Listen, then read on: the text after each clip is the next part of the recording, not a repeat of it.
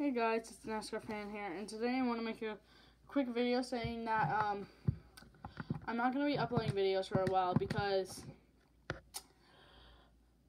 I have a new job and it's babysitting and over the winter breaks there's been lots of requests for renting and I, and I really need money so I've been having to get some jobs out of the way for people and most of the times I'm busy on weekends. So yeah, so most videos I will not be so I will not be uploading on I will not be uploading on videos. I won't be uploading videos that uh, on weekends anymore. It's going to be like rare. It's going to be like a like not like fully rare, but a little like uncommon. Let's just say that.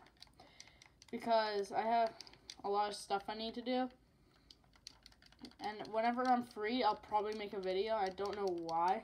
When. Sorry.